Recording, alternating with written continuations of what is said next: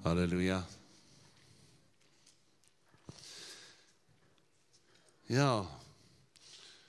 Ons praat vandag oor uh ek wil dit noem autoriteitsvelde. Authority fields. Maar dit gaan my broer, my sis, uh selfs in elke lied, dit was my interessant. Ons het nie met mekaar gepraat nie. Was daar soveel oor God se autoriteit. En my vraag vandag is my broer, wie het die finale sê? Autoriteitsvelde, daar's baie autoriteit, daar's baie areas van ons lewens waar iemand die finale sê het. Wanneer ek nie lekker voel nie, al het autoriteit is gegee aan my emosies. Therefore go. Daarom gaan heen. Is dit nie Matteus 28 wat sê? Waar Jesus sê alle autoriteit is aan my gegee in die hemel en op aarde. Daarom, daarom, daarom omdat al die autoriteit aan my gegee is, daarom gaan heen maak disippels van al die nasies doop hulle, leer hulle en kyk. Kyk, ek is met jou. Maar daai beginsel sal wees vir elke area van ons lewens, maar dit begin by ons. Dit sê soos in ek moet eers seker maak ek is oorgegee tot sy autoriteit. En dan, omdat ek glo hy het die finale autoriteit in Bloemfontein en in Suid-Afrika en in my werk en in die studies en by die universiteit en daar waar ek beweeg, omdat ek glo hy die finale autoriteit en die finale sê, daarom gaan ek en ek sal mense disipel. Ek sal met mense praat oor Jesus. Ek sal die lig wees en ek sal die sout wees. Ek sal die brief van Christus, die ambassadeur van Christus die trofee van sy oorwinning wees. Ek sal, want ek glo hy het die finale autoriteit. Amen. Ons is nog hier. Nou die die groot vraag is dan as ek nie by mense kan uitkom oor Jesus, as ek nie myself kan gee vir dissipline dat iemand my disipel nie. Die eerste vraag en die groot vraag gaan wees, glo ek hy het die autoriteit, die finale autoriteit in my lewe. Vir dit moet ek dit gee, né? Hallo? In die praktyk gaan niemand sê ek gee my emosies die finale sê. Nee. Ek gee my opinie die finale sê. Eh, wie van ons gaan so iets sê? Maar so maklik ongelukkig kan jy my opinie die finale autoriteit wees. Daarom sal ek my mond oopmaak en ek sal my opinie gee en al bring dit my in 'n plek van die moeilikheid of al voel ek ek kry nou 'n gesindheid of my opinie gaan die finale sê. En daarom omdat ek seer gemaak is en my seer die finale sê het, daarom sal ek gaan en ek sal iets sê, ek sal iets doen, ek sal 'n sekere gesindheid hê, ek sal regverdig, hoekom my hart toe is. Omdat ek 'n fantastiese visie gekry het, omdat jy 'n 'n fantastiese idee gekry het. Wie gaan die finale sê in daai fantastiese visie hê? God wie? En dis die die gevaarlike een is nie noodwendig wanneer ek die verskriklike slegte ding en die en die great positiewe ding doen. Ek weet waar wat moet ek kies. Maar wanneer ek 'n goeie idee het, wanneer ek regtig 'n great visie het, wanneer ek voel, "Jog, dan kan ek myself so oorgee tot daai ding dat dit die finale autoriteit is. Ek sê Here kom help my, kom wys my, maar moet hy bevestig die autoriteit wat ek voel, dit wat ek ervaar om te doen. Heilige Gees moet dit vir my oopmaak. Maar dat in Jesus naam dit God sal wees. Want my broer my sis, dis wanneer 'n Daniel gevorm is, gevorm is dat hy kan opstaan en sê die autoriteit deurbring die autoriteit van een God en daar's net een God en die wêreldse koning erken. There is only one God. Hoeveel van die wêreldse konings aan die einde van die dag het gesê sy God is die ware God. Sy God is die ware God. So my emosies moet sê Jesus Christus is die ware God. So al voel ek nie lekker nie, al voel ek ek is nie lus om die Here te loof nie, ek sal hom loof want hy het die finale sê of ek hom gaan loof of nie. As hy sê moet my nie loof nie, dan sal ek nie loof nie. Dan dan is ek dan dan gaan ek nie noodwendig myself gee. En ons praat nie net van sing nie. Ek bedoel ons praat van deur my lewe. Hallo. In my verhouding, in my teleurstelling, in my seer, in my in die negativiteit, in die omstandighede wat ek ervaar, iemand gaan praat en ek gaan besluit hy het nou die finale autoriteit. En ek sal gaan op grond van daai stem op grond van daai seer op grond van daai vrees op grond van daai teleurstelling op grond van daai goeie idee sal ek gaan en ek gaan iets doen. En kyk en kyk daai ding sal met jou wees op grond van seer gaan en sê dinge of of doen dinge of kruip weg en kyk en kyk, daai seer sal nog meer, meer, meer by jou wees. As God sê alle autoriteit aan my gegee, daarom gaan. En wanneer jy doen volgens sy autoriteit, aan die einde sê hy, kyk hoe ek met jou is.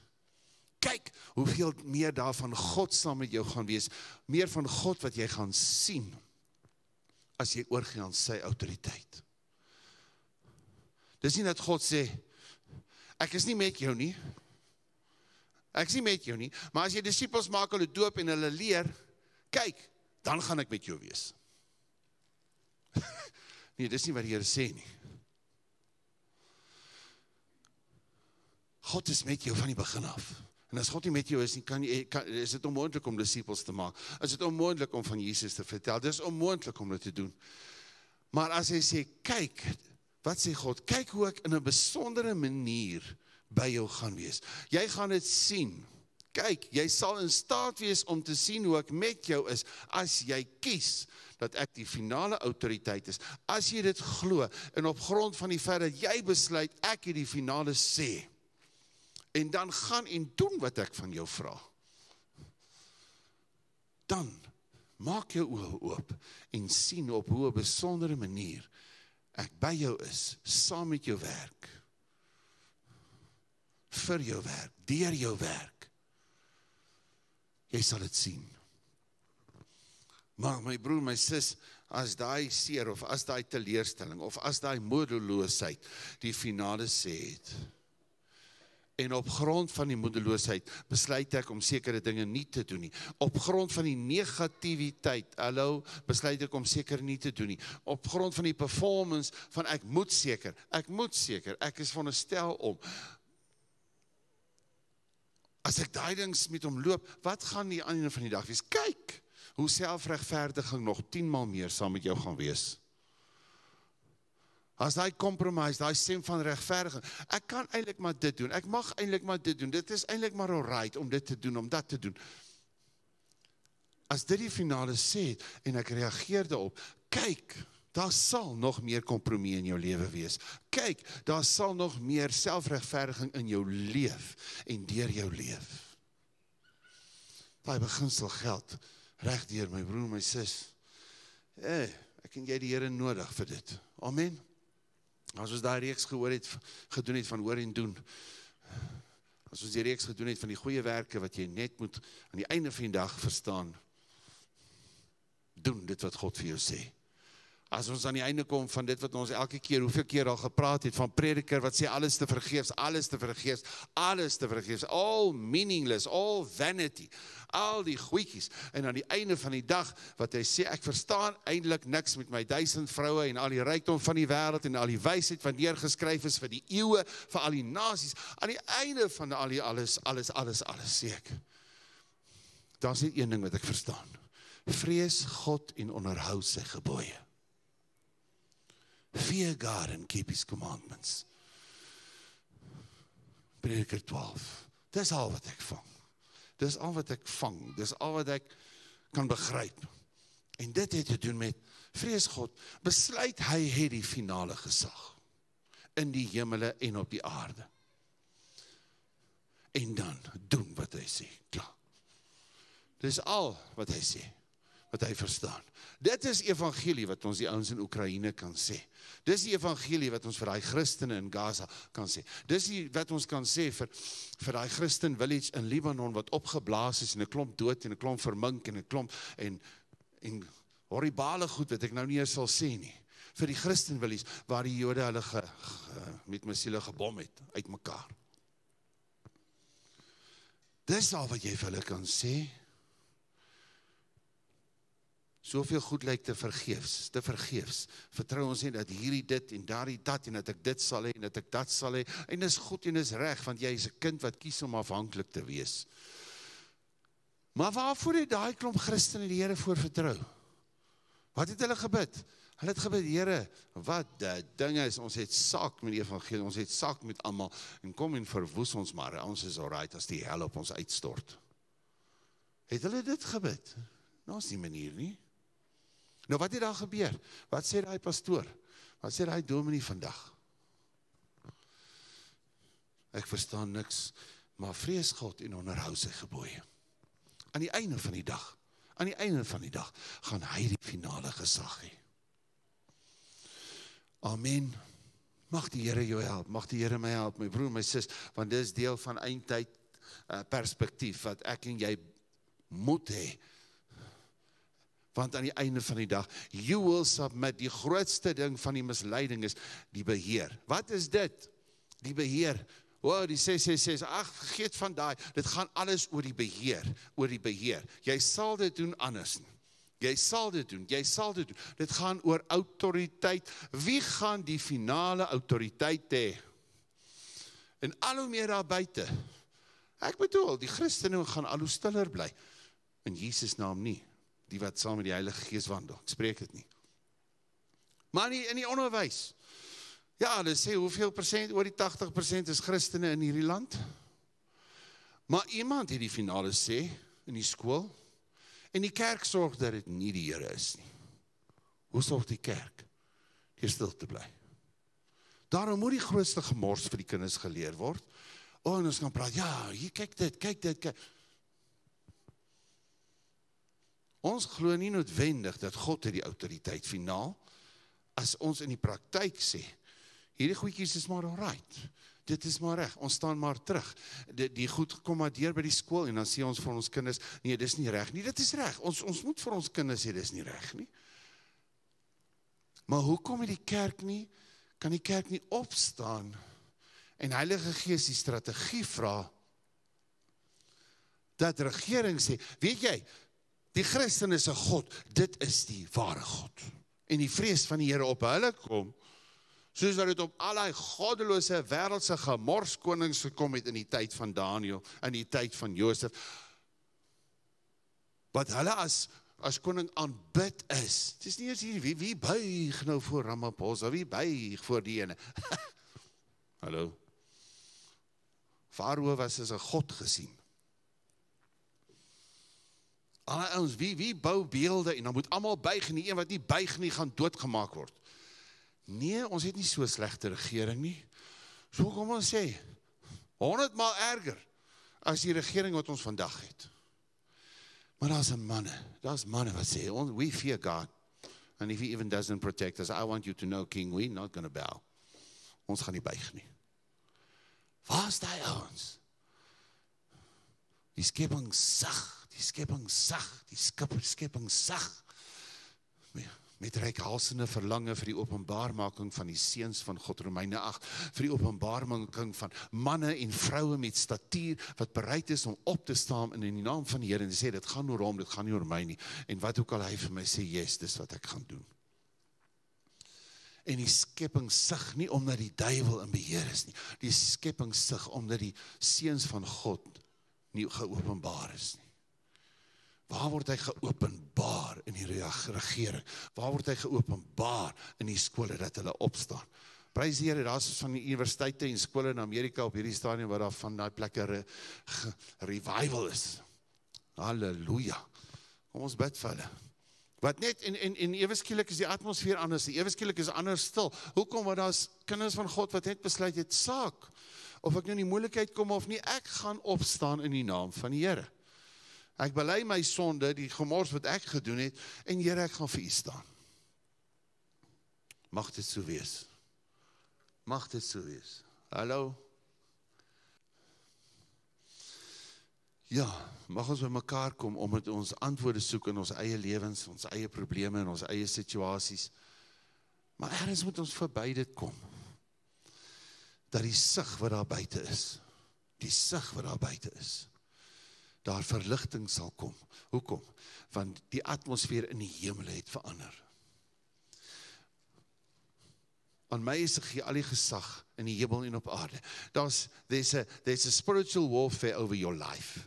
Oor die atmosfeer van jou lewe, oor die hemele wat oor jou heers, as ek so kan stel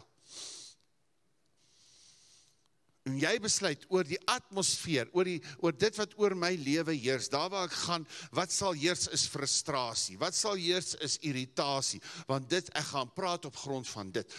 Van as ek frustreerd voel, as ek geïrriteerd voel, dan gaan daai ding praat want hy sal die finale gesag hê. En kyk aan die einde van die dag, sal ek meer frustreerd wees? En ek sal myself meer kan regverdig hoekom ek geïrriteerd en frustreerd is gaan nie meer so wees in die toekoms nie in Jesus naam. In Jesus naam. Enige iemand vir amen? hey my broer, my sis. Wat is my en jou keuse? Dis my en jou keuse om te sê as ek nou vanaand aan die woord gaan vat, as ek my mond gaan oopmaak om te bid, as ek in tale gaan bid, Here, ek wil dit nie doen sonder die vrees van die Here nie. Ek wil dit nie disrespectful doen nie. Daar was daar was ietsie van ons voorgeslagte of hulle nou tradisioneel was of nie. Daar was ietsie van respek vir die woord wat great was. Wat jy beter leer, ek beter leer uit die goeie dinge wat wel vasgelê was. Ons moet ook leer uit die foute, nie judge nie, want dan gaan jy 10 keer meer maak. Here genade op hulle en help my nog meer as wat, wat u hulle gehelp het want ek gaan die kans hê om 100 maal meer foute te maak as my pa en my ma, my oupa, my ouma en hulle en hulle en hulle. Hallo. Nederigheid gaan jou beskerm. Wysheid sal jou keuses beskerm, maar wysheid, die wyse man sit te wag voor sy mond. Die skrif sê die dwaas sê wat hy wil. Die dwaas praat, die dwaas sê wat hy voel. Die dwaas reageer op wat hy voel en wat hy dink en maar die wyse, die wyse man is eers stil nie om te sê bondjie kry sy lontjie hierso in sy hart. Ja, ah, die wyse, die stem wat hier binne praat. Daai verkeerde stem moet ook stil word. Hallo? Is ons met mekaar? Ag, mag die Here ons help. Alle autoriteit vanmiddag is gegee aan wie? Jy sal sien want jy sal sien wat is meer saam met jou môre? Wat is meer en wie is meer saam met jou volgende jaar? Wie is meer saam met die ouens in Gaza? Is dit ek vat die autoriteit om te sê die antwoord is as is revenge. Die antwoord is bitterheid. Die antwoord is weerwraak. Die antwoord is as daar 'n ding val of ons nou op nog 'n 1000 onskuldiges wat ook al laat, laat ontplof die weerwraak en die selfregverdiging het die finale autoriteit. Klaar.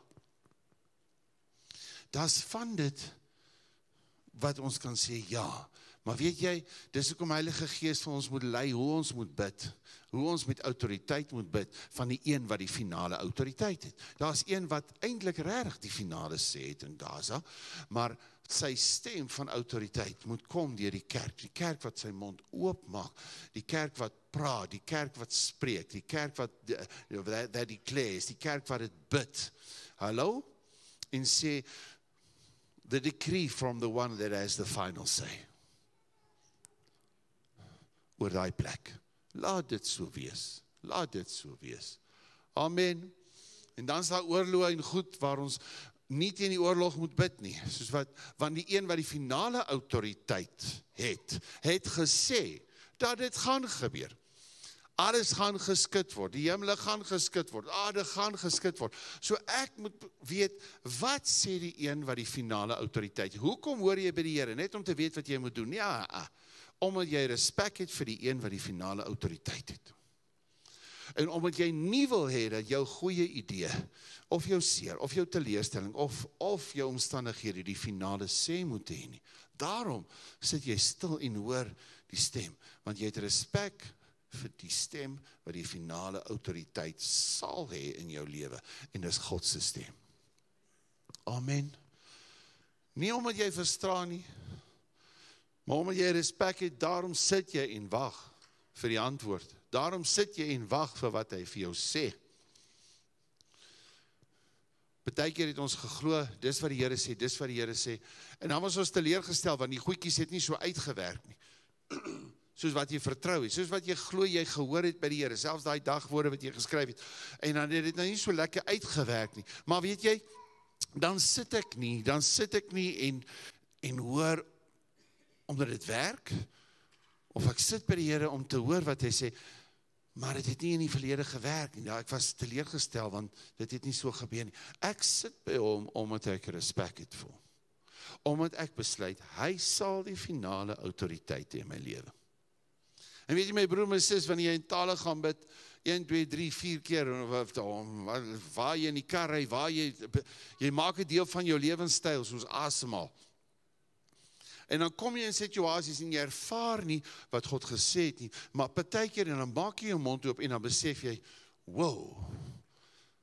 Hier is nou wysheid. Hier is nou autoriteit wat hier deurkom wat van God afkom." Wie het dit al so beleef, né? Nee, dit al so beleef en jy maak jou mond oop en jy besef this was this was it. Wat ek nou gesê het, that settles it. En jy vat dit in jou gees, jy hoor dit in jou gees. Amen. OK, kom ons kom by die preek. Eerste skrif. Ek en maak die siekes gesond wat daarin is en sê vir hulle die koninkryk van God het naby hulle gekom. Jesus stuur die 70 uit, maar die met die uitstuur, as ons nou weer praat van van Matteus 28, alle gesag is gegee aan my in hemel en op aarde, daarom gaan. In die gaan is dit die siekes moet gesond gemaak word, die dooies moet opgewek word, duiwels moet uitgedryf word. Daar's 'n klomp werk vir my en vir jou om te doen. En die duiwels wat uitgedryf word, beteken nie môre moet jy elke ou op straat gryp en sê jy 17 duiwels, daar gat jy. As jy met autoriteit loop, my broer, daar waar jy inkom, daar moet hulle gaan. As daar goggas leef in daai plek, dis soos daai goed wat hulle spuit dat die slange dit nie kan hê nie, hulle moet gaan. Hallo? Die atmosfeer om jou moet wees dat dit dit die vyand kan nie daar bly nie. Because you carry a presence. Because you carry a presence. As jy as jy lig skyn, moet die duisternis wyk. Jy hoef nie eers met die duisternis te praat op daai oomblik nie. So wanneer jy jou mond oopmaak en die wysheid van God kom deur in daai besigheid, die wysheid van God kom deur in jou besigheid. Dis lig wat inkom. Dis duiwels met agenda wat moet een kant toe staan, want die hemelse agenda kom deur, want hierdie ou het verstaan dat God het die finale sê. Hierdie ou het verstaan dat wat is die gesag van God dat as God dit sê of hier in hierdie besigheidsou verstaan dit eens nie, hy gaan sê wat God sê. Ish, sê die duiwels vir mekaar.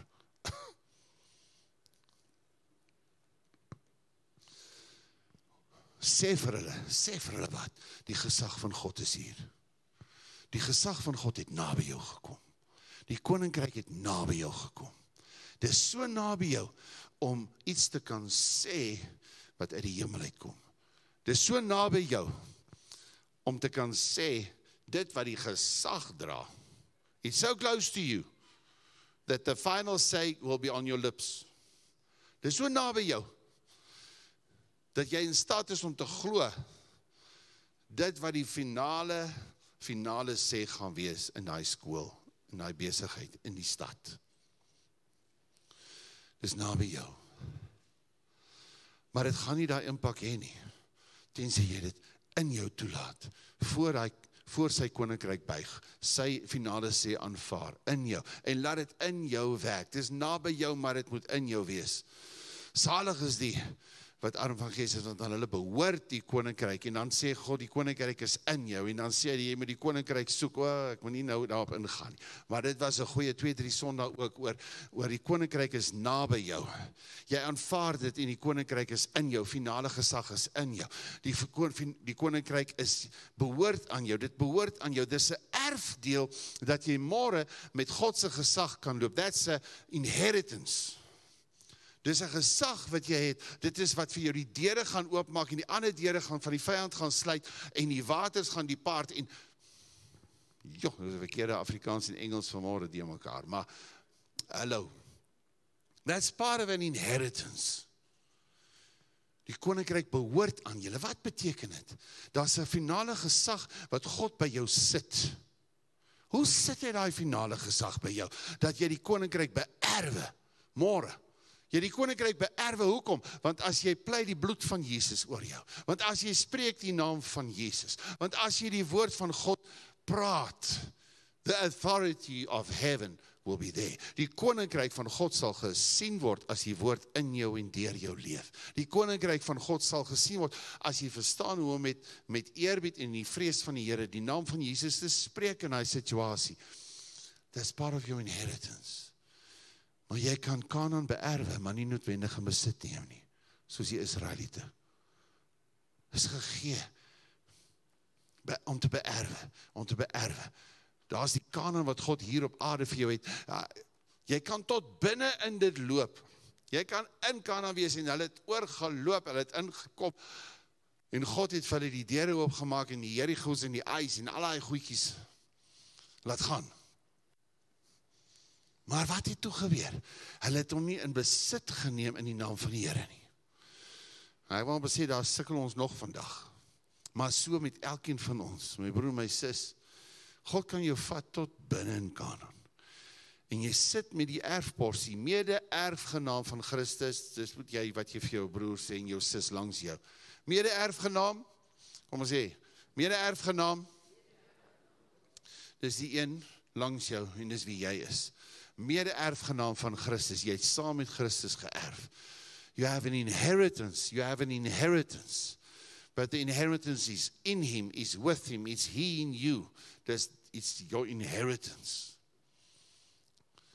Om in besit te neem dit wat jy geërf het. Kom ons sê ek sal in besit neem dit wat ek geërf het. Meneer erfgenaam, laat dit so wees in Jesus naam. Halleluja. Koninkryk is naby jou. My my broer my sis as die koninkryk naby jou is die final say. Then the final say is in you. Dan then inherit you inherit the final say. Jy beerf beerf dit. Dan wat sê hy nog verder? Jy soek die koninkryk. Jy soek God se finale sê in daai besigheid. Jy soek God se finale sê omdat dit vir jou gaan werk? Nee. God se finale sê in daai besigheid kan wees sodat jy hom gaan toemaak.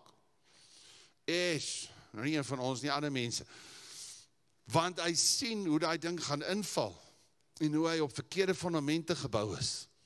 Is dit nie dat die ingenieur en daai ouetjies hulle is veronderstel om om as inspekteur te kan sien en hulle jy erken en die regering erken hulle as ouens wat meer kan sien as wat ek en jy sien. Daarom gaan hy sê afgekeur of goedgekeur. Nou hoekom sal ons nie die argitek, die ingenieur toelaat om te kom inspekteer want dan raak dit persoonlik want want ek was nie goed genoeg nie en ek het alweer gefaal of dit of of al daai gemors kan praat. Maar intussen is dit kom ek laat hom toe in die begin om te kom. Laat hulle die fondamente opcheck. Weet wat soos wat ons hierso moet laat die ouens kom en dit afteken. Laat hulle in die begin kom. Laat ons nie eers bou en dan daar 'n krisis en dan kom hulle en sê, "Maar julle het hier verkeerd gebou nie." Ongelukkig in ons lewens gebeur dit so baie keer, maar dit gaan nie meer so baie gebeur nie in Jesus naam. Amen. Mag die kerk van Christus die wysheid hê as wyse bouers om die inspekteur toe te laat wat die bouplanne het wat wat wat meer as ek en jy weet oor hoe om te bou en hoe om nie te bou nie. En daai man daai ingenieur, daai bouinspekteur, hy sê dis veilig vir mense om hier te bly. Hy sê vir die nasie, dis veilig om die kerk te vertrou. Want die kerk is gebou op fondamente. Daai gemeente is gebou deur wyse bouers. Mag dit so wees. Mag dit so wees in ons lewens. Mag ons verander om dit te verstaan en respek te hê vir die bouinspekteur, respek te hê vir die ingenieur wat actually meer as ek en jy weet. Want alle autoriteit is aan hom gegee. Amen. Next one. Ag het ons. Toe sê hy vir hulle, ek het die Satan soos 'n bliksemstraal, kom ek sê so. uit die hemel sien val. Kyk, ek gee aan julle die mag. Kyk, ek gee aan julle mag om op slange en skorpioene te trap en oor al die krag van die vyand en niks sal julle ooit skade doen nie. Ons onthou ons het altyd daai voorbeeld gebruik van die van daai 30 ton trok en en dan kom so 'n mannetjie uit en hy gaan staan in die middel van die pad en hy maak so en ewe skielik there's more power in this hand than in that 30 ton trok wat hier op hom afstorm. Wow. Ongelukkig probeer ons dit doen partykeer dan druk probeer ons druk teen hy. Maar as ek verstaan wie ek in Christus het, kan daai 30 ton trok wat op destruction afpyl wat vernietiging gaan bring, kan die kerk van Christus so maak en daai ding moet stop. Jy het nie 'n fight met daai 30 ton trok nie. Jy het nie 'n fight met die vyand. Hallo. Maar jy het 'n autoriteit en 'n erfporsie in die naam van die Here. En daar's iemand wat gesê het, ek gee vir jou mag oor die krag. Kom ons sê mag oor die krag. That is I give you authority over the power. I give you authority over the most intimidating power and display of power that you could see. Hoe groot jy daai daai display van van die van die krag van hel kan sien in die nasies. God sê ek gee jou die mag oor daai krag. As die kerk van Christus weet hoe om op te staan en dit te doen. Hallo, tot hier toe en nie verder nie. Hoekom want tot hier toe het die Here gelei, né? Dit is 'n uh, Ebenezer wat beteken tot hier toe het die Here gelei en daarom net tot hier toe en nie verder vir die vyand nie. Maar moenie gaan staan en vir die vyand sê net tot hier toe, jy gaan nie meer verder nie as jy nie van 'n plek kom waar jy kan sê tot hier toe het die Here gelei tot hier toe het die Here gelei in my besigheid dat ek voor hom gekom het, my bekeer het, 'n klomp gemors reggestel het en en en ek vanuit bekering, hy my nou gelei het in my besigheid tot hier toe. En dan tot hier toe waar hy my gelei het, sê ek vir die vyand, net tot hier toe sal jy gaan. Want ek kom uit die plek van bekering. Ek kom uit die plek van nederigheid. Ek kom uit die plek van leerbaarheid. Mag dit so wees in Jesus naam. Hallo? Ons is nog met mekaar. Geef vir jou mag om op slange en skorpioene te trap. Wat ook al intimidating kan, wat se gif daar ook al kan wees, maar my broer, my suster, hey, die probleem is ek gee jou mag om te trap. Ek gee nie die maar jy het die keuse om met hom te praat. Jy het die keuse om met hom 'n fellowship te hou. Daar is in die tuin van Eden. Jy kan jy kan in die tyd wanneer daar perfekte sukses is, in die tyd wanneer dit so great gaan is wanneer jy die stem van die ou slang so duidelik sal kan hoor. Om net eenvoudig te redeneer, nie om hierdie versoeking te vat, nie om noodwendig hierdie vreeslike goed te doen nie. Maar net om te redeneer, want jy het die gemaklikheid van sukses. Jy het die gemaklikheid van voorsiening. Jy het die gemaklikheid, jy kan gemaklik raak. Jy moet vergenoeg wees, nie gemaklik raak want gemaklik raak is ek raak familier. Ek raak gemaklik met kerk. Ek raak gemaklik met waar ek sal opdag waar ek nie, waar ek sal dit doen waar ek nie sal. Ek raak gemaklik met dit. Hallo. Dis iets anders as vir genoeg. OK? So kom ek kom ons gooi hom net. Maar in plaas van gemaklik raak, moet ek waak. Moet ek waak. Moet ek waak.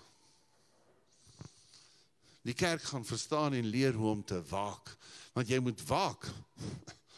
Want jy kan nie net gemaklik raak met 'n slang. Jy kan nie gemaklik raak met daai skorpioen nie, maar jy kan op hulle trap. Soos wat Heilige Gees lei. Is dit nie die eerste belofte Genesis 3, né? Hy sal jou in die akskeen byt, jy sal sy kop vermorsel. Maar my broer, my sis, as jy hom nie sy kop vermorsel, gaan hy jou byt. Gaan die gif deel van jou word. Daai gif van bitterheid, daai bitterheid byt jou, daai seer in jou hart, jy jy jy los hom daar, laat die dat daai slang jou byt en die gif kom in jou mond, die gif kom in jou hart, die gif kom in jou gemoed. Hallo, hy maak jou nie noodwendig dood nie. Maar jou lewe, jou woorde, jou gesindheid is vergiftig. Gaan nie meer so wees nie. Die kerk gaan verstaan hoe om op te staan in die naam van Jesus en hoe om op daai kop te trap. Hy sal jou in die hak skeen byt, jy sal sy kop vermorsel. Praat eerstens van Jesus wat sy kop vermorsel het. Maar ons as erfgename in die naam van Jesus.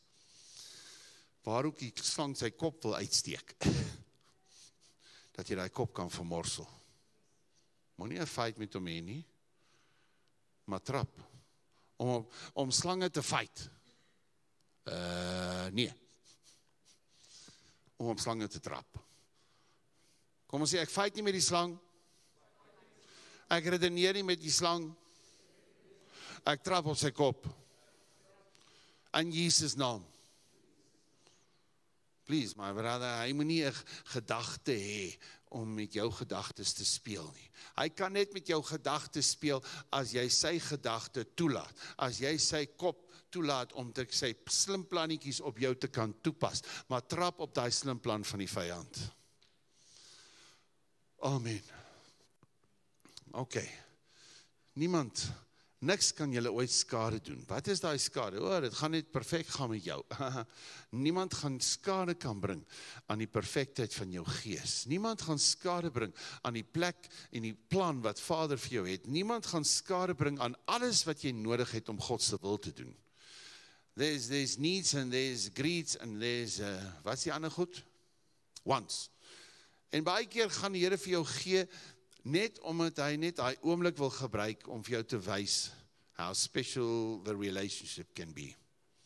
Baie keer gaan God sekere goed net vir jou op 'n spesiale manier gee. Hallo? Maar aan die einde van die dag wat special is tussen jou en hom is dat maak nie saak wat nie Here, ek is lief vir U, ek gaan U loof, ek gaan U eer. Dis special. Daai kind wat vir sy pa respek het, daai man wat vir sy vrou respek het, daai vrou wat vir haar man respek het. Daai hallo. Is ons nog hier? Mag die Here my help, mag die Here jou help. Amen. Laat dit so wees, want as jy respek het vir God, dan jy gaan jy nie toelaat dat hy net gebruik word in 'n in 'n movie en jy's maar alraai daarmee. Hey, dis jammer dat hulle dit nou die naam van Jesus gebruik. Nee, jy gaan hom of afsit of jy gaan sommer stop en jy gaan nou lekker daar opstaan en sommer vir daai ou bid. Nou hulle gebruik dit polities, maar daai die een vrou met die politiek wat wat ons nou gesê het, die een nou sê Jesus is king. Sê I think you are at the wrong rally, né? Nee? Ja, as die kerk nou net vingerwys na judge, ag nee, maar die kerk is dan slegter as sy as ons sê wat sy gesê het was sleg. As jy dit dalk net bedoel het, maar dit is nie 'n Christelike reg nie. Kom ons fokus nou op die politiek. Ek weet nie, ek weet nie, maar as die kerk uit net die vinger wys, dan is die kerk slegter as wat dit wat sy gesê het. Hallo. Wanneer kan ek en jy wees? Wat maak ek en jou beter? Net die genade van God. Net die genade dat iemand in jou lewe ingespreek het, dat iemand in my lewe ingespreek het, dat die Heilige Gees met my praat, Heilige Gees met jou praat. Dis nie jou reg nie. Dis 'n voorreg. Dis 'n voorreg. Amen. Mag die Here ons help. Halleluja. My broer, my sis, so jy speel nie met die slang en die skorpioen nie. Dis ongelukkig ons speel te veel. Ons speel te veel. Ons laat daai kop van daai slang met ons praat en ons redeneer met die slang en om te oortuig wie is nou reg, wie is nou verkeerd nie meer nie in Jesus naam. As ek dit verstaan, dan gaan niks my skade aan doen nie. Maar as ek nie op die slang trap nie, as ek nie op daai skorpioen trap nie en sy stem stil maak nie, dan sal daar skade wees in my lewe. Hallo? Van die mag oor die krag. Daar's die next one. Maar julle moenie daaroor bly wees dat die geeste aan julle onderworpe wees nie, maar wees liewer bly dat julle name in die hemel opgeskryf is leef altyd van die plek van nederigheid. Amen. Nederigheid beskerm jou. Kom ons gaan aan daag terwyl van die tyd nou. Kyk, ek stuur julle so skape onder die wolwe in en wees dan versigtig soos die slange. Nou moet jy weer versigtig wees soos 'n slang en opreg soos die duwe. Wat wat wat wil hy sê? kyk daar's 'n ander faset ook. Uh, Party mense dink die slang is deur die duiwel gemaak. Uh, toe nou nie eintlik nie. Want daar's simboliek in die hele setup, maar actually die Here die slange gemaak. Alraight. Dis ons nog met mekaar. As jy 'n vrees vir 'n slang het, dryf die vrees uit, nie die slang nie. Ek sê nie julle moet boer met pofaders nie, maar wat ek sê is ehm uh, ag ek hoop julle weet wat ek sê. Skape onder die wolwe. Ek stuur julle. nou nou ek bedoel, dit klink soos 'n dit klink ek wil nie sê dit klink soos 'n joke nie, maar kom ek stuur jou in waar ek vir jou sê, kyk na die picture van 'n skaap en 'n wolf. Wie gaan wen? Ek stuur jou in soos 'n verloorder teenoor iemand wat jou 100% gaan wen in 'n fight. Sê die Here. dit klink nie dit klink nie vars nie. Ek stuur julle so skape onder die wolwe in. Ek stuur julle in as ouens wat verseker sal verloor in 'n fight wanneer 'n skaap en 'n wolf 'n fight het. OK, Here, baie dankie. En dan moet ek nou nog, ek moet soos 'n skaap ingaan um, in 'n fight waar definitief die wolf gaan wen en dan moet ek nou nog uh, 'n slang wees en ek Weet jy, slange is actually versigtig. Maar, maar toe maar, kom ons gaan nie daarop nou in nie. Maar daai slang is nie sommer net vir te wille van 'n fight aggro nie. Is ons met mekaar. Maar eh, daai daai slang, hy hy gebruik sy kop. As sy kop nog daar is dan um, die gewone slang. Gaan kyk, ek gaan lees maar 'n bietjie op oor slange. Hallo. Maar dan ook duwe. Nou nou sê Hosea sê die Here moenie so onnoosel wees soos 'n duif nie. En dis nou ook weer 'n negatiewe een. Maar dan sê hy ook jy moet versigtig wees. Opreg, ekskuus, opreg soos 'n duif. Jy weet, ehm um, baie keer het jy al ouens gesien wat opreg is, maar eintlik onnoosel is baie ons. Daai persoon, daai persoon is so opreg. My man, ai ai ai, is net hulle kop ook wil gebruik. Maar daai ou mag die Here ons help om elkeen van hierdie fasette te verstaan. Want in opregtheid, wanneer jy in opregtheid kom, dan is nederigheid deel van. Wanneer jy opregtheid kom, dan is dit nie jy's hierdie slim ouetjie nie. Jy dink is jy's hierdie slim man nie. Daai een wat dink hy het al die antwoorde. Die opregtheid, ah ah, dit werk nie. God sê, wandel in opregtheid voor my aangesig. Is dit wat hy verwag eerste God van Abraham. Hallo. Is ons met mekaar. So gesindheid ouens, gesindheid, nie versigtig omdat jy vrees nie. Nie versigtig omdat jy vrees nie, maar versigtig omdat jy wysheid het. Kom ons jy skryf dit net daar. Wees versigtig soos 'n slang. Wees wees versigtig omdat jy wysheid het. Want baie ouens is versigtig omdat hulle bang is om te doen om God se wil te doen. Wees versigtig om met iemand oor Jesus te praat want want want wat as dit? Wees versigtig om te praat by die werk want wat as jy jou werk verloor? Wees versigtig om nou nie onprofessioneel te wees in dit en dat nie. Nie daai versigtig nie. Where you don't honor God in daai selfde konteks sê hy maar die wat my bely vir die mense sal ek bely vir my Vader. Versigtig om nie jou vlees te volg nie. Versigtig om nie te reageer op die finale gesag van seer en en en negativiteit en depressie en en wat ook al daai goedjies sal wees. Nie versigtig om net jou dat jy net sommer jou opinie gee. Wees versigtig. Moenie net jou mond oopmaak en jou eie opinie gee nie. Want hoekom? Want dit kan gou-gou gebeur. Net ek het dit agtergekom. O, okay, moenie vir my so kyk nie. Is julle nog hier? Asseblief my broer, asseblief my sis, as ons praat van autoriteit. En as die autoriteit van die hemel deur jou moet leef, autoriteit van die hemel moet kom in dit wat God vir jou het. Hallo. Kom ons kyk na die beginsels. Great, kom ons gaan aan. Maar pas op. Pas op dan vir die duiwel. Hy het nou eers gesê, nee, ek gee vir jou die mag oor al die krag van die vyand. Ek sê vir jou, die Here sê vir jou, slange trap, skorpioene trap. Nie pas op vir die slang nie. Nie pas op vir die vir die skorpioen nie. Nie pas op vir die krag van die vyand nie, maar pas op vir mense. Goeiemôre. OK. Pas op vir die mense. So ons praat van autoriteit. Weet jy want wat die eerste plek waar jy daai autoriteit gaan verloor, dat die slang jou byt en die skerp skerpioen jou pik en die krag van die vyand oor jou kom, is oor wat gebeur met die mense, met jou en mense. Wat gebeur met jou en mense bepaal of die skerpioen en die slang en die krag van die vyand gesag sal hê in jou lewe. Gesag sal in jou lewe. Pas op vir die mense want hulle sal julle oorlewer aan die regbanke en in hulle sinagoges sal hulle julle gesel. So. OK. Iemand het gehuk daar by gesel lyk dit my. Wat sê ons? Die Here sê, pas op dat hulle dit nie jou nie oorlewer nie. pas op dat hulle jou nie oorlewer nie. Pas op dat hulle julle nie in die sinagoges gaan gesel nie. Ek waarsku julle voor die tyd. nee. Hy sê nie dit nie. Hy sê dit gaan gebeur. Die Here het dit gespreek, dis hoekom dit gebeur het. Ehm um, ek weet nie ons daai ene by mekaar sit nie, maar wat wel uh wat dit wel op neerkom is dat hierdie goedjies gaan gebeur. Nou waarvoor moet ons dan pas op, Here, as dit in elk geval gaan gebeur? Kom ons gaan aan. En ook voor goewerneurs en konings sal julle gebring word om my ontwil tot 'n getuienis vir hulle en vir die heidene. Almal sê tot 'n getuienis tot 'n getuienis. My broer, my sus en ongelukkig moet baie keer dinge geskit word.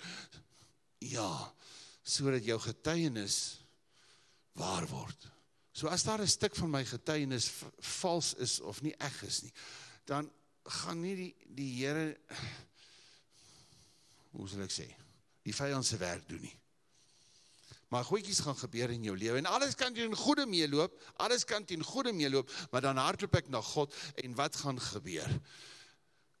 Daar gaan egtheid in my getuienis kom. Daar gaan egtheid in my getuienis kom.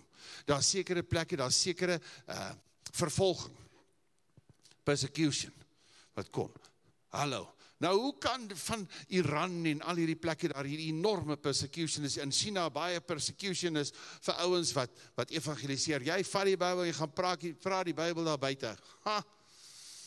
In van daai lande, dis verby met jou. Maar in die midde van dat is daar 'n 'n gesonde, mooi, skoon, ware getuienis in ouens wat daardie Here aanneem. En as gevolg van daai skoon, mooi kwaliteit getuienis Is daar herlewing in Iran? Is daar herlewing in China? Is daar herlewing in Indonesië en in die Filippyne waar die grootste moslem vestings is? Because there's a purification of a witness. Om my ontwil. Gouverneurs. Right, kom ons gaan aan. En dan maar wanneer hulle julle oorlewer Pas op, ek sal julle beskerm dat julle nie oorgelewer word nie. Nee. Daar's skrifte wat ons so kan gebruik in hierdie skrif. Ek weet van baie skrifte wat ons kan gebruik oor hoe die Here die die vyand voor jou sal verslaan en hoe dit en en, en spreek dit. Die vyand wat jy wil kry om jou getuienis te laat vaar. Christene wat sê dit help nie om die Here te dien nie, want ek het nou dit gebid, ek het dat gebid, ek het dit gebid. Kyk. Kyk. Die mesiel het op ons geval, my my vrou en kinders is moet nie sê 'n stukke nie, maar en daar's die ouens wat God vloek. Daar bly hulle my bure. Niks fout met hulle nie. Niks fout met hulle nie. Nou vertel my God is 'n God van liefde. Wanneer jy oorgelewe word, moenie jy kwel. Moenie kwel. Maar daai kwel is ek moet besorg wees ek moet besorg wees dat my getuienis sal eg wees. My broer en my sus, ek moenie besorg wees eersins dat my omstandighede verander. Moenie julle kwel nie want ek gaan julle uit die tronk uithaal, sê die Here. Wanneer julle oorgelewer word, moenie julle kwel nie want ek gaan julle uit die tronk uithaal. Wanneer julle gegeesel word en vals beskuldig word en vals aangekla word en veroordeel gaan word, moenie julle kwel nie, ek sal julle daar uithaal. Ek sal seker maak dat almal die waarheid weet van wat regtig gebeur het en daai storie wat oor jou ver, versprei is dat die mense die waarheid sal weet. Moenie hulle kwel nie. en hierdie kwel is 'n ander kwel. Hierdie kwel is vir die een wat saam met God staan. Moenie worry dat die dat jou getuienis sal sal sagter word nie. Dat jou witness, dat die jou lig wat skyn, dat hy minder sal skyn. Moenie moenie julle kwel dat julle lig minder gaan skyn nie. Moenie julle kwel dat julle nie meer gaan in staat wees om 'n getuies te wees nie. Moenie julle kwel dat julle nie gaan weet hoe om vir mense te verduidelik Jesus is die antwoord. Maak nie saak wat. Moenie worry dat jy gaan dit minder begin doen nie. Want jy voel, "Sjoe, hier's 'n klomp teerkanting." Jy kwel jou nie oor die persecution. Wat's dit nou weer? Die vervolging. Jy kwel nie jou oor die vervolging wat gaan moet einde kry nie. Jy kwel jou oor die feit dat jou getuienis gaan stiller word in die midde van vervolging. En God sê, moet nie julle kwel nie, want dit sal julle in die daardie uur gegee word wat julle moet spreek. Ons gaan aan. Want dis nie julle wat spreek nie, maar die gees van julle Vader wat in julle spreek. Die kerk, my broer en my sis, profeties sê ek vir jou, die kerk al hoe meer gaan in daai plek kom. You will have a company of people that are so consumed with God's honor wat so gevul is met die vrees van die Here dat dit vir hulle gaan oor die eer van God en en en dat ek nie moet kan worry nie maar Heilige Gees gaan my lei oor hoe om die eer aan die Here te bring. Die Gees van God sal vir julle in die uur sê hoe om julleself te verdedig oor hoe reg julle is en hoe verkeerd die ander is. Nee. Holy Spirit will remind you about Christ and explain the words to you. Amen. Mag ons in so 'n plek kom mag die kerk van Christus in so 'n plek kom dat ons ons eerder sal kwel oor dat ons getuienis nie moet vervaag nie dat ons akkuraat sal praat soos wat God wil hê en die Here sê Heilige Gees gaan jou help dat wat jy sê is asof God self dit sê Moenie worry nie Heilige Gees gaan jou help om te sê wat God homself sou sê in daardie situasie. Wow, man. Dit is om te praat met 'n volwasse kerk van Christus. Amen. Om ons sê amen. Alrite. Dit sal in daardie uur gegee word. Dis, kom ons gaan aan. Ons is amper by die einde van daai. Want dit is nie julle wat spreek nie, maar die gees van julle Vader wat in julle spreek. Dat jy kan weet my woorde is word beheer, word beheer. Al oh, maar my broer, as die finale autoriteit jou woede is, weet nie, julle het nou nog nie so iets beleef nie, ek het dit al beleef, dan sit, daar is een finale gesag oor my woorde. Ek sê iets en ek besef eers na die tyd wat ek gesê het. Alright, net ek het dit al beleef, maar ek het dit al beleef. Um, nou so moet het met die geest van God wees, dat jy iets sê en jy na die tyd besef, wat het ek nou gesê? Nee, het was Heilige Gees wat die finale gesag gebring het, wat die finale gesag gebring het. Dit sal wees die Gees wat in jou is, het die vermoë om die finale gesag van God deur jou lippe te laat kom. Hallo. Die Gees wat in jou woon. Die Gees wat in jou woon sal praat wat die Vader van die heelal wil praat. Daarom moenie worry nie. Julle sal 'n Wat is 'n spreekbuis? Ander woord. Van dit van die hemel wees. Die klanke van die hemel sal deur jou kom. Die perspektief van die Vader sal deur jou vloei. But that is if I'm consumed with God. Die Jesus sê die ywer vir die huis van God het hom verteer. Mag die ywer die vlees in my en jou verteer. Mag die ywer vir God soos 'n vuur brand teen die vrees en die en die baie slim Christen praatjies oor hoekom ons baie keer sal stil bly en in plaas daarvan om net te praat en te gee wat die Heilige Gees vir ons gee aan mense om ons. Daar's hy. Ons is met mekaar. Daar's hy. Next one. Maar wonderlik. Nie net ou goewerneurs nie. Hallo, nie die politieke ouetjies nie. Nie die ouens in die sinagoges, die eh, godsdienstige ouetjies gaan jy gaan teen julle staan nie, maar sommer jou broer, sommer jou familie. In daai tyd gaan dit ook sommer gebeur. Een broer sal die ander tot die dood oorlewer en die vader sy kind en die kinders sal teen hulle ouers opstaan en hulle doodmaak. Wow, dankie vir die bemoediging, Here. Net nadat hy gesê die Heilige Gees gaan deur jou praat, net daarna het hy gesê jou getuienis as jy as jy nou vir die Here staan en alles net sê wat hy sê. Weet net die Here gaan jou verskriklik seën.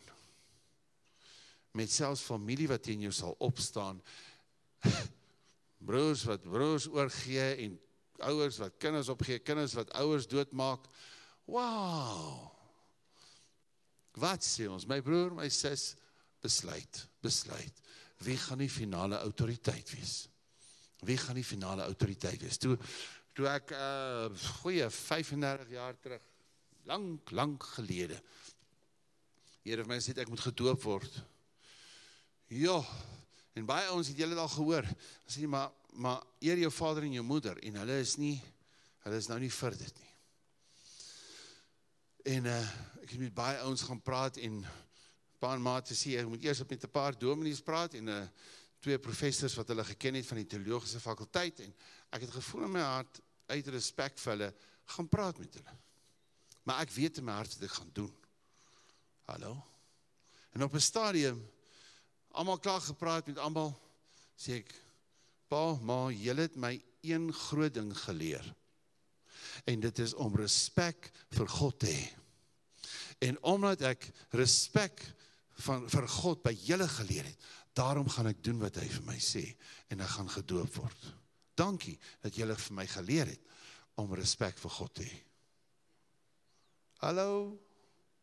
Maak seker jou kind weet dit. As jou kind weet hoe om respek vir God te hê, the rest will be history. In 'n mooi sin, in 'n baie mooi sin, in 'n baie mooi sin. Amen ons met mekaar. Hulle sal op staan en mekaar doodmaak. Daar sê, sit nog een. En julle sal deur almal gehaat word. Wow, lekker. Ek wou nie julle net bemoedig vanmôre. Julle sal deur almal gehaat word ter wille van my naam, maar wie volhard tot die einde toe, hy sal gered word. Hy wat volhard tot die einde toe, hy sal dit maak. Hy sal die hemel maak, hy sal nie gaan brand in die hel nie. So jy moet staan teen al die ouppies en as jy nie staan nie en as jy val met dit, dan gaan jy brand. Dis nie wat dit sê nie. Maar môre word jy gered in daai situasie om God se wil te doen. Oor 'n môre word jy gered uit die gemors uit om saam met Jesus te staan en saam met hom te werk. Dit praat nie net van 'n ewige verdoemenis nie. Dit is nie eerstens waarvan dit praat. Ja, vir elkeen wat sy rug op God draai en besluit daar is nie eerstens sy redding it was fake, it wasn't genuine. Want as jy waarlik kind van God was, sal jy staan of jy sal probeer staan of jy sal jou beywer om te staan. Jy sal die Heilige Gees vra om jou te help dat die woorde wat jy sê van hom af sal kom. Jy sal deur die proses gaan om te sê ek Here, ek wil vir u staan. Ek wil nie ooreageer. Ek wil nie toelaat dat wat familie, godsdienstige, politieke nie die gewone society, die die gemeenskap wat mense daar buite, die samelewing wat hulle doen en die samelewing is geïrriteerd met my. Hulle sê jy bly stil jy bly stil. En jy beskielik daai ou wat die Here begin dien is dit hy nie meer daai vriende nie wat jy mee kan uithang nie. Hallo? Maar daai vier groepe sal daar wees wat ons nou tot en met hier gehoor het. Eerstens die godsdienstige ouetjies.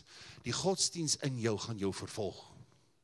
Daai godsdienstigheid in jou gaan jou vervolg. Dis nie net daai kerk en daai kerk en daai kerk vervolg ons nie.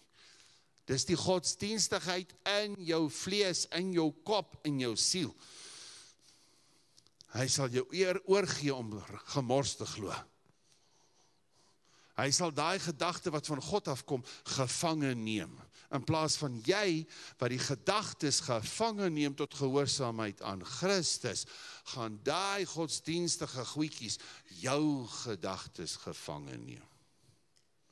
Pas op vir dit. Pas op vir dit. Hallo? Is ons met mekaar? Die tweede een. Governments. Governments wat sal staan teen dit wat God sê. Jy kan glo enige gemors van wie jy is, wat jy is, maar jy gaan nie die naam van Jesus gebruik met respek nie. Jy kan die naam vloek, dis nog alright. In elke movie kan ons dit doen en mense dit sien wat ook al. In 'n skool iemand wat die naam van Jesus vloek, dan dit gaan nie hallo. En baie skole is nog great, prys prys die Here. Maar as jy dit op 'n ander manier gaan gebruik, hel gets wat s'ie woord agitated, ek weet nie wat nie. Maar wat wil ek van wat wil ons vir mekaar sê vandag? In jouself, maak seker dat hy vlees nie opstaan wanneer jy kies om met respek die naam van Jesus te hanteer. Amen. So daai government, daai gewone government wat hier binne wil regeer. Daai government in jou siel, daai government in jou emosies, daai government in jou eie opinie, daai government in in in hoe jy wat ook al wil regverdig in jou lewe. Daai government gaan nie like, gaan dit nie like nie. As jy begin opstaan en God se stem laat deurkom in in jou hele wese. Authority feels in elke veld van jou lewe, in elke area van jou lewe wanneer jy dit inbring, gaan hierdie goed manifesteer. Die godsdienstigheid, die regering. Hallo, dan vloek nie die regering nie. Ha, jy bid vir die regering. Amen. Ons met mekaar. En dan derdens familie. Wat beteken dit?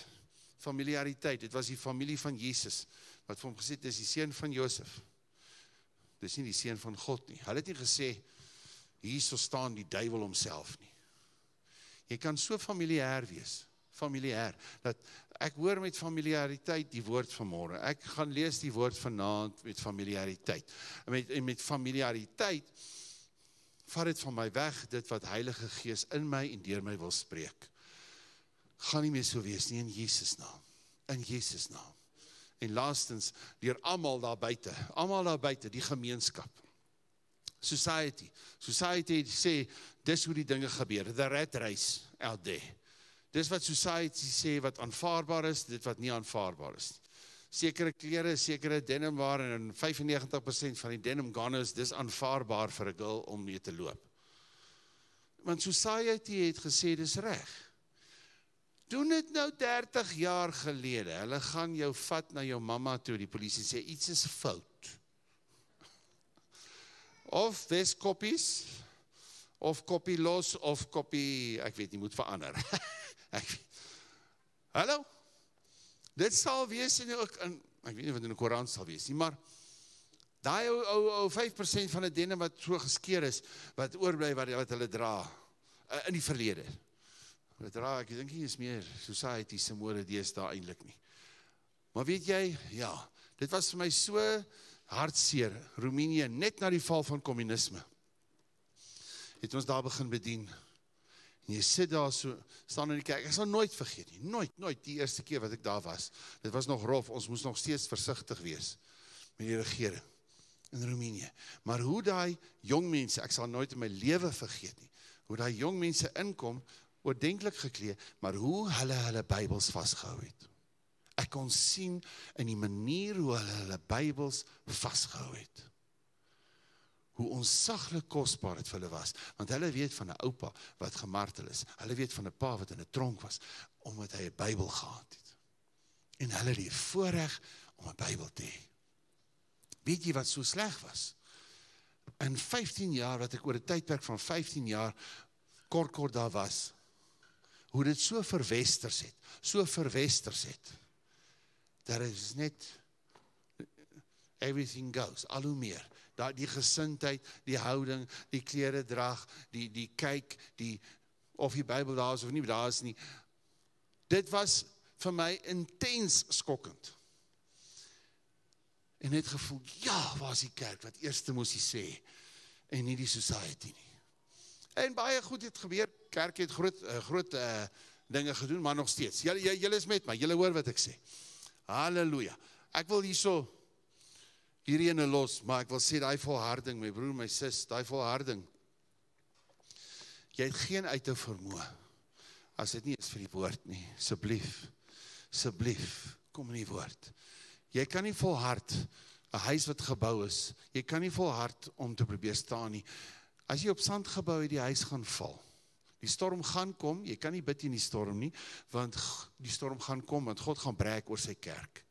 God gaan breek oor fondamente van huise en waar die fondament Christus is. Vader gaan die die fokus op Christus sit. Maar dit gaan wees hoe. Mense gaan kyk na die storm en hulle gaan sien daai huis bly staan. What an amazing foundation. As jy gaan volhard, volhard om die fondamente reg te bou in jou lewe. Volhard om die fondamente in jou emosies en verhoudinge en gedagtes. Volhard, volhard. Al voel jy geïrriteerd, al voel jy voel ook al, volhard om die fondamente reg te lê. Jy sal deurbraak sien. Jy sal môre gered word teen die snare of the enemy, teen wat die vyand in jou wil bring en deur jou wil doen. Heilige Gees kom. En doen net 'n werk in ons. Ons vertrou U daarvoor, Vader. Asseblief. Ag Here, as ons praat oor autoriteit, selfs autoriteit wat vlees sê. Ek bid dat U ons regtig sal help in Jesus naam. Bid vir elke man en vrou in hierdie plek. Vergewe ons Here waar ons sommer net familier kan wees met U woord. Vergewe ons dat daar ons eie regering in ons eie koppe van emosies wat kan regeer of opinies wat kan regeer, ons eie maatstawwe waarvoor ons waar volgens ons lewe, ons eie norme Vergewe ons, Here. Vergewe ons vir godsdienstige regverdiging. Here, ons kies om ons te bekeer en sê Here, ons wil die uitstap met die vrees van die Here op ons lewe. Ons wil die uitstap om te sê ons het respek vir U en vir U alleen. Come and have the final say. Of ons dit verstaan of ons nie verstaan nie. Kom en hê die finale sê in ons lewe, Here. Bid dit vir elke elkeen van ons bid vir die ouens wat nie vanmôre hier kan wees nie. Ons bid vir soveel daar buite wat uitroep tot U. Laat dit so wees in Jesus naam.